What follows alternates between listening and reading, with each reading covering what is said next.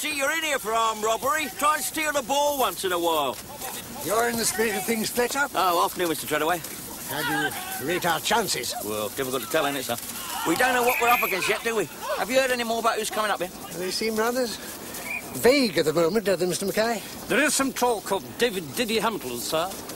And possibly one of the goodies. Oh, that'll be a novelty, won't it? Up here amongst all these baddies.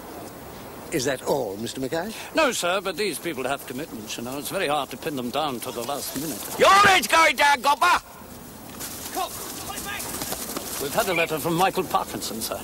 Oh, is he coming? No, sir, but he wrote to say that he would have come. But he isn't.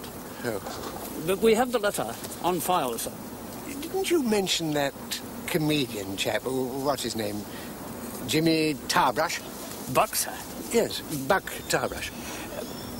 Well, uh, unhappily, he's indisposed. Oh, dear.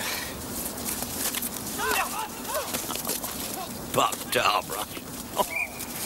we should be lucky to get Basil Brush.